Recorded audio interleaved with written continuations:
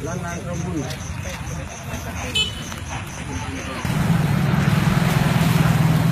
quy trình một ở chung một bộ